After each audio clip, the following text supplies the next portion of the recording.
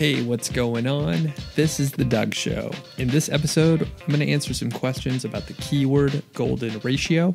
If you missed the previous two episodes, you will want to uh, check them out probably before you listen to this. Otherwise, it's not going to make much sense at all. So let's get to the questions. I'm sitting here in my in my closet. I'm sitting on the floor. I was uh, I was actually recording all of the audio at my desk previously, and I was just recording straight into GarageBand. But I have this uh, recorder. It's a Zoom H4n. I got it used off eBay. Got a good deal, under 100 bucks. I always like to get a good deal. And um, I am aware that audio quality is so important, especially for the spoken word.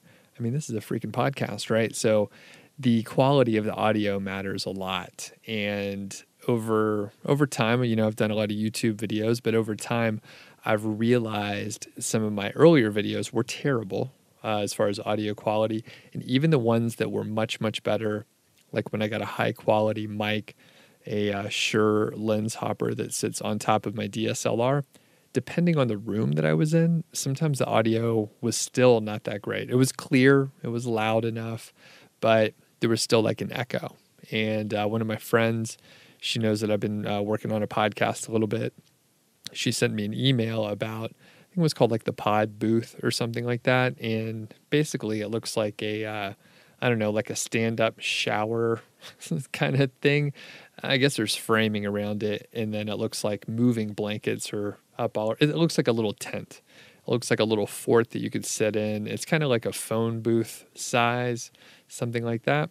And, you know, it has all these uh, like moving blanket kind of things all around it. Anyway, it's supposed to help dampen the sound, it reduces echo and all that good stuff. Now, the reason why there was such echo in some of the other videos uh, that I was just mentioning, and sometimes even when I record or in my uh, in my office zone, is there's like walls. There's like flat hard surfaces. And a lot of the videos that I did, I recorded those like in my living room area or in the kitchen or the dining room. It's all like one big open space. It's wood floor, fairly tall ceilings. You got big windows in there. There's all these areas that you're going to get an echo, which is exactly why when I went back to listen to see, you know, what the audio quality was like, it was a little weak. Hence, I'm sitting on the floor in my closet with my Zoom H4 and there's clothes all there's clothes hanging up all over. There's not that many surfaces that uh, the sound can bounce off of. So hopefully there's less echo here. Now a lot of this is just you know like normal self indulgent. I'm just talking about what I'm doing and why I'm doing it. Um, but it's not bad to sit on the floor and actually uh, my good friend Georgie the dog the border collie is sitting with me here, so I could also, you know, be a little closer to her, sitting on the floor with her. All right, so today we're going to answer some questions about the keyword golden ratio. And if you haven't snagged the template yet for the keyword golden ratio, as far as making the calculations, you can go to nichesiteproject.com, click the green button, enter your name and email address. You will get an email from me that has a link to download many different things. One of them, keyword golden ratio calculator. Additionally, content templates are available, and the content templates are um, sort of like my bread and butter to you know get a lot of content published. I'm not doing the writing myself. I'm not doing a lot of the details myself. But if you're able to hire writers effectively, then you can get a lot of work done. So you can get a hold of all that stuff. And these questions that I'm going to answer. They are from Niche Site Project, my blog. There's a blog post. Actually, there's several blog posts that talk about the keyword golden ratio. And people, they ask questions in the comments. So, first one is from Al Zufri, Al Zufri, and uh, he says, "What if I use the global monthly search volume instead of the local monthly search volume? What's the impact and the difference in ranking?" Currently, um, he says he's using uh, the KGR for his uh, foreign, and I take that as a non US based site. All right, so first of all, I think we should say, we should just declare that the KGR is primarily, especially the 250 limit, is primarily targeted at you know U.S. traffic, hence the local monthly searches. So I think if you apply the KGR in other localities, right, in other Google versions, you may end up with some different results. I think in general, not always, but I think in general, the other Google uh, platforms, I guess other geographies is the right way to say it. I think those are going to be a little bit less competitive. So maybe you have some more flexibility. So Al Zufri is saying, what if I use the global monthly search volume? What is the impact and the differences? The answer is I don't know because I've never tried it the other way. I've never tried to use the global search volume, but my hunch is it will probably give you similar results. And my advice is to apply the formula as you, you know, as it states. Um, using the local monthly searches and target something, right? Because most people are going to be using some local version and then tweak it from there. Once you get some data, you could tweak it from there. In a lot of cases, that's sort of my go-to answer. If I don't know the answer, the answer is you you should try it, see how it works out for you, and then you'll have some data data point that you can go um, you can go after.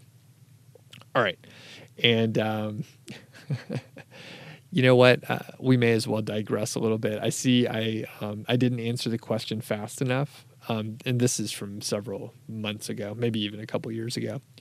Um, Al, Fru- Al Zufri says, "Well, it looks like we have the same low class questions, and even worse, asked by noobs like us. So Doug prefers to go." Um, so Doug preferred to go to that expert guy who commented and uh, no need to backlink. No, all right, he's he's losing me. He, it's just falling apart. I'm trying to read this, but there's a lot of missing words. So anyway, I didn't answer this question fast enough for this person. It took me like two days, and then um, my response again. This is just uh, pure digression. Um, so I I I replied back and said, for the people that happen to be reading along, Al Zufri sent me a rude email for not replying to his comment fast enough. And then I said, Hey, sorry. This is uh, how I replied to the comment. It was a fine question and one that I didn't think of. I just got back from vacation, so it took a little time for me to reply to your question. In fact, I thought I thoughtfully reflected on your question so I can give you the best answer possible. Anyway, that um, is why uh, Al Fruzi um, gave me that weird, sort of rude comment there. Anyway, moving on to the next question. Sammy says, I'm having great results with a KGR and it really works. I have one question. Do you go for keywords that are plurals of high volume keywords? And, uh, you know, the specific example doesn't really matter. But the answer, um, okay, the second part is would you still go for this or will Google just treat them as the same? Yeah, basically, um, Google is most likely going to treat plurals exactly the same as singular words. In fact, if you you know look at the SERPs and you see um, the results for a singular term versus a plural term or phrase, um, usually keywords or phrases of some kind, you're probably going to see the same results like 90% of the time and you may see a couple a couple of the sites the results shifted around. So maybe uh, something ranks fourth one in, in, the singular version and it ranks fifth in the plural version. So google pretty much treats them the same all right. Next question is from michelle do I avoid all the keywords with more than 250 local monthly searches because they are not valid for the keyword golden ratio calculation? Or do you try and rank them once you've targeted all the keywords with a KGR of 0.25 or less and less than 250 local monthly searches? All right, good question, Michelle. The answer is I don't uh, avoid anything, right? So the keyword golden ratio is a great way to get started with a site. It's a great way to get traction on a site that's brand new, especially, especially if you are new to internet marketing. What you don't want to do is get started with a site and then work on it blindly adding content, doing a bunch of work, investing money, investing time, and then not really having anything to show for it. The keyword golden ratio allows you to rank a little faster for some terms and potentially get some traffic and potentially even get some sales. And there are many examples if you just start looking through the comments of some of the YouTube videos, if you start looking at the comments, um, anywhere the keyword golden ratio is mentioned, you're gonna well, you'll find two things. Some people are gonna say it's horseshit and it doesn't work, and then there's the other group of people that have tried it and they're like, yeah, it works. It maybe doesn't work 100% of the time, but it at least gave me a you know a target to shoot at and I see what's working and I can execute more. And the best part is you get a small win early. So when you're telling your spouse, when you're telling your friends what you're working on and they ask you, well, you're spending all this time, you're spending all this money. Have you uh, gotten any traffic yet to your site? Have you made any money? You can say, you know, there's a tiny bit, like there's a trickle. It's working. I've made, you know, three dollars and um, you know I spent hundred dollars, but I made three dollars and fifty cents, and now it's a matter of doing more of what's working. So, to uh, continue answering Michelle's question here, I I go for higher volume search um, terms as well. Those are great. They just take a little bit longer, and maybe they require more backlinks before you could rank. Maybe it requires longer content. Again, if you're starting a site from scratch, you're brand new to internet marketing, you may not be confident enough. You may not even have, you may not know how to write a post that's like 12,000 words long that makes sense. That's overwhelming. That's like the size of some short books. All right. So I go for higher volume search terms. Yes. I go for uh, lower volume search terms. Let's say I have a site that maybe I, I see most of the content is targeting higher volume search terms, well, maybe then I uh, dial it back a little bit. And then I'm like, oh, I'm going to go after everything that has less than 50 searches per month because it looks like there's not that much competition there. I see that often. And I think that's a good way to look at it. Like, hey, where where is the market, um, you know, less competitive, right? Where's the market less competitive? That's what the keyword golden ratio is all about. But like I said, I go for whatever. And if you can, if you're in it for the long haul, you can go ahead and go after some keywords that are, you know, 2,000, 4,000, 8,000 searches per month. And maybe it takes you a couple years to rank number one. Maybe it takes hundreds of links to rank number one on that, but it's going to pay off big in the long. All right. Next question is from Carl. Carl says, I, uh, think you're doing great work here. I want to ask you about a completely new site, and if I only publish keyword golden ratio content without backlinks and no blog commenting, will I still rank for those keywords? All right. The answer is I don't know. Um, I could say yes, because I've seen examples of people who published KGR content. In fact, there's a few great examples on uh, my YouTube channel, people that I've interviewed. If you just search for like keyword golden ratio success stories, that's what you'll find, right? So you should find some great examples of people that just publish content and literally do no backlinking, not even blog comments. So there are plenty of examples, and a few of these examples are people making thousands of dollars per month. All right, thousands of dollars per month, month over month. So, yes, it's possible. However, I have heard of just as many examples, maybe even more examples of people who have used the KGR and they're unable to get traffic. Now, why is that? Well, upon further analysis, I usually find that they've made some mistake. So maybe they're keyword stuffing. Here's here's one of the most common things I see. Someone uh, finds like 50 KGR terms. They publish 15 KGR or sorry, 50 KGR articles on their brand new site and they've invested all this time, all this money, and they're using the Yoast SEO plugin, which is a fine plugin um, if you're using it properly. However, a lot of people don't quite use it properly. So, for example, let's say the keyword, one of these posts, um, for one of these posts is best ballpoint pen for bullet journaling. All right, best ballpoint pen for bullet journaling. That's a lot of words. What is that, like six words? I didn't count it when I said it out loud, but it must be something like six words. And um, if you put that into the target uh, keyword in the Yoast SEO plugin, it's going to tell you to use that keyword a lot. It's probably going to tell you to use that long phrase several times, maybe a couple percent. Now, when you do that, that's basically keyword stuffing. So, why is Yoast telling us this bad information, right? Well, the Yoast SEO tool and all the other SEO tools for that matter, like uh, the plugin rather, those are made for the general population, people that are just blogging, they're putting out some content. And usually the keyword that uh, someone may be going for is like ballpoint pen, right?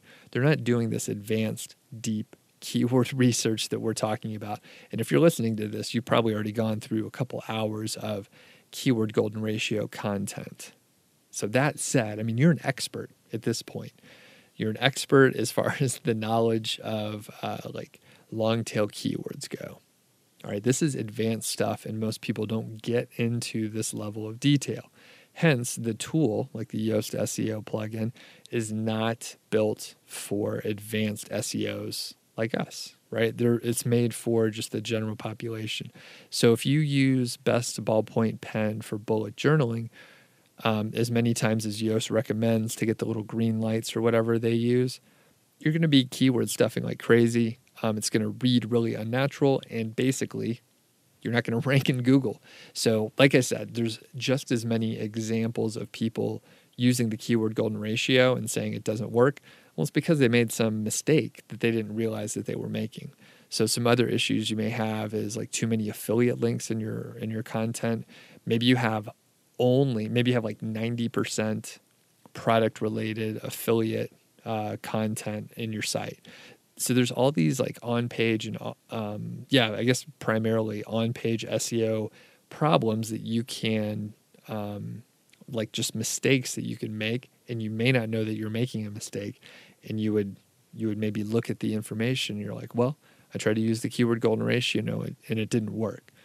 Well, the problem with that assumption is there's like hundreds of other people that are like telling us that it is working. So that means there's probably, and th- this is via the you know YouTube comments. It is via you know Facebook groups. I mean, you could even if you look around. I'm not a part of many Facebook groups, just not my thing. But like if you look around in some other Facebook groups um, and start checking for the keyword golden ratio, or even on Reddit, if you start looking around for the keyword golden ratio in in usage and uh, success stories and all that stuff, you're going to find hundreds of people that are doing really well with it, and in my opinion, that means there's probably thousands of people doing well with it because there's only a small fraction of people that are actually vocal about what they're doing, what they're executing, and the results that they're seeing. So, that said, there's a lot of people that are making it work. Um, if you've used the keyword golden ratio and it's not quite working out for you, you probably made some mistakes somewhere. So, hope, hope not, but you probably made some mistakes somewhere. This next question is from my man Agers. Ager says, Hello, I'm a huge fan of all the stuff that you do and share, Doug. Oh, that's that's nice of you to say. That's really kind. I also learn a lot from uh, your webinars and blog articles. Uh, and I, you know what? I'll just keep reading all these uh, compliments. It's fantastic. All right. Further, uh, Ager says, I'm using the KGR and I've had great results, but one question. How can I calculate the KGR if Google shows zer- zero searches um, per month, but people actually do search for this term? Google shows this term in the suggested searches. Any tips, any suggestions? And he says in his niche, there's a lot of these kind of keywords. All right, this is an excellent question. This is basically what do you do when the search volume is zero, um, especially when it's an auto suggest, and that's what Agers is telling us here. So basically, there there are three scenarios where I'll go for a zero search uh, volume, and th- again, this is a common question. It comes in a lot of different forms, so and I think you can also like reverse engineer the question, and this will apply to many other cases. So basically, if it's a zero search volume um, and it's a Google auto suggest, I'll go for it. I don't calculate the KGR. All right. So I, if it's an, a zero search volume, the formula falls apart. So I don't calculate it. I don't consider it. And I'm just thinking, hey, you know, Google is telling me that um, this is a decent piece of content. So I'll go for it. Now, I Google it first, right? I Google it first and see what the results are. If all of the results are just like these fantastic sites um, that with huge authority and it's obviously well served, then uh, maybe I skip it. All right. So maybe I skip it if it's an auto suggest and the competition looks really tough. Uh, the other time I'll go for it, this is number two, is if it's a related search. So, you know, that's uh, very similar to a Google auto suggest. Google is telling you people are searching it and, it and there's a related search. So if that's a zero search volume, again, I'll Google it, see what the competition's like. Usually I'll go for it. And the last reason this is uh, less common, but if I just know it's a good piece of content, if, I know it's a good piece of content, then I'll probably go for it. And in those cases, it's something like, um, uh, actually, if you think about my internet marketing blog, Niche Site Project, I created a whole frequently asked questions section. I haven't counted the words, but I think it's a at least a you know several thousand words. Some of them are shorter form, but I put a lot of time into creating that Q&A section. How did I know those questions were asked? Well, basically, I did a ton of YouTube live streams and I just kept hearing the same questions over and over again, week after week. And um, people still ask them right? They're valid questions or very common questions. And the thing is, if you were to search for these terms as far as a search volume, I mean, they're long phrases like actually this question that we're talking about right now what do you do with a search volume of zero? It's a long phrase. Generally, it is a zero. I haven't checked, but I think it's a zero search volume term there. Basically, I knew people were asking about it, so I created a piece of content on it. So if you know it's a piece of content that people are looking for and you and you just know because the niche is good, then yeah, you would go for it then as well. Couple more questions here before we wrap it up. So next is a question from John. He says, I have been reading your blog posts for a while and I'm interested to try the keyword golden ratio. I, oh, sorry, I have tried the keyword golden ratio method and I find a few long tail keywords. John's question is How do you put it into the article? Is it a must to put the keyword in the title of the article? Any tips? So, yeah, you want to basically put the keyword phrase that you find into the title. You can potentially add some other words in there to make it sound right you know, you don't want it to be improper grammar or anything weird. Additionally, you can put some, you know, something more interesting from a copywriting perspective, like, you know, the top five uh, pens to use for bullet journaling. And most of them are under 20 bucks, you know, something like that, or most of them are very cheap or something like that. So you can, you know, spice it up a bit if you want.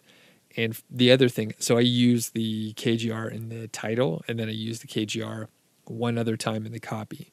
The rest of the time, you can, you know, just write normally. And in fact, I try not to use the term too much because what you don't want to do is keyword stuff. Next question is from Dan. Dan says, Thank you for the useful information about the keyword golden ratio. I started doing keyword research and I have two questions. Number one, assuming I find a keyword the, with less than uh, 0.25 for the KGR, does it matter how many links the top five sites have or referring domains? And let's say the KGR for keyword X is very low, but the top five sites have a lot of links. Will it still work? All right. So I'll, I'll answer that before I go on. So I won't forget what I'm talking about. So the real answer is does it matter how many links the top five sites have? Yeah, it, it does matter on some level.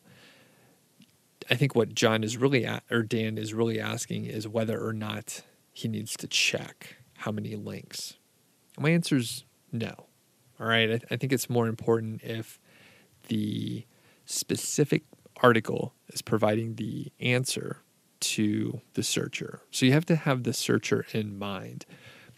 Do the number of backlinks matter? You bet. I mean, the number of backlinks, I mean, that's important, but that's not the primary factor that we're looking for when you're trying to execute on this keyword golden ratio. So, will it still work? Yes, sometimes. Sometimes it won't work, um, but usually it's a variety of factors. So, just looking at the number of backlinks is not enough to tell you like yes or no for a particular term. My advice would be, you know, give it a shot try it out, see how your site does against some of those bigger sites, especially for, you know, certain terms or categories. Second part of Dan's question is let's say there are only two all in title sites for keyword X and the KGR is less than 0.25. Does it make sense that none of the two sites are ranked in the top 10 or the top 20? Wouldn't you expect to see the two sites which follow the KGR rules at the top? That is a good question. So I haven't done like in-depth analysis on that sort of thing, trying to you know figure out why those those uh, certain sites don't rank. I would take a look at the content. I would suspect the content sucks or is maybe like some sort of a spun content site. In other cases, you may find that um, the site has weird backlinks. And I'm thinking you're probably going to find something unusual with the site um, on some capacity. So, and again, I haven't spent time investigating it, but what I can tell you is that, like, if you are putting out good content, I have seen it work in the other in the other way. When you publish good content, I've seen that work just fine. So, you know, the question is why aren't those sites ranking? I'm not sure one would have to investigate that. But in general, I mean, you're applying logic properly here. It's like, well, if the title is so important, if these sites are adhering to the title, if they're going after the terms that we deem underserved on the internet, why aren't those sites, if there's only two, why aren't they ranking like in the top 20? And I don't know. I, I would guess there's some sort of like on page SEO issue or off page SEO issue all right, thanks a lot for tuning in this time for the Doug Show. Really appreciate it. And if you're new to the show, if this is like the first episode that you listen to, welcome. Please subscribe. If you are a longtime listener, or even if you're a new one and you enjoyed it, please like and subscribe. Please, uh, or, or wait, that's YouTube. Please subscribe. Please leave a review, and also tell your friends about this. So, I uh, I think the keyword golden ratio is a great way to uh, like get started with keyword research and getting some early traction for your sites. So if you know people that are in that situation, uh, maybe they're they're having a tough time getting traffic early on, send them my way. Send them to uh, episode one of the episode as well. So we'll see you around, and uh, we'll catch you next week.